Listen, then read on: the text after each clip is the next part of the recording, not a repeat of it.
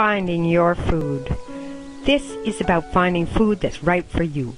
Everyone thinks they have the answer. High protein diets, raw diets, low carb, macrobiotic, low fat, calorie restriction. The list goes on. It gets so confusing. We just need to stop the war on foods. We need to learn how to listen, have a dialogue with our own body, and find out where and what is making us feel good. We need to experiment and explore with what foods, when we put in our body, change things for us on a cellular level.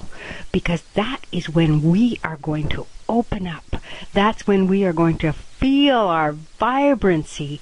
That is when we are going to 100% present and able to connect to our intuitiveness. So we need to stop the food wars now. Listen to your body. Do you have energy? Are you sleeping well? Does your skin glow?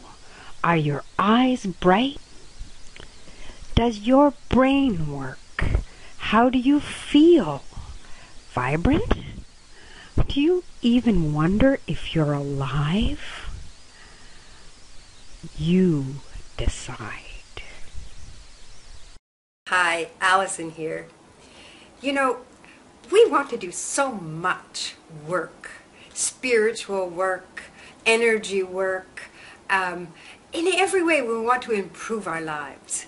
But we forget to take care of the temple. So tell me, what are you experiencing? That little vignette that started this video was just to show that we have so much bombardment of misinformation, and yet we can make some changes.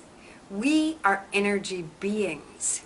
We need to aliven and awaken that part of us, that part of us that is meant to flourish in optimal health.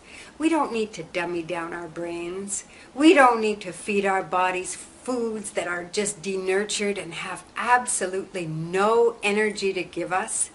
We need to nurture and take care of what this beautiful, beautiful little wonderful thing that's here to house our soul. So why don't you take a step? Why don't you take a small step today? It doesn't matter whether it's a going raw, macrobiotic, eating more vegetables, eating more fruit, giving up soy, um, giving up those soft drinks or pop. It doesn't matter what we do in our lives. Just a small step. A small step towards increasing your vibrancy. Maybe you could even consider superfoods.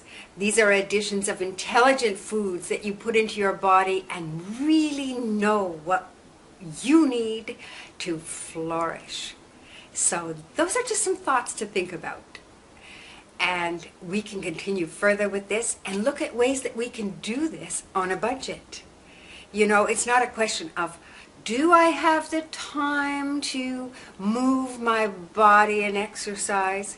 Do I have the, the energy to, to go out and, and get good foods? it's not an option anymore. It's a definite certainty. We must. We must be able to do that. If we want to tap into our intuitive nature, if we want to connect to our inner being, if we want to flourish in longevity that's packed with joyous, vibrant health. So on that note, I want you to consider what step are you going to make this week? Don't forget to ask me any of your questions as we playfully learn to embrace longevity now.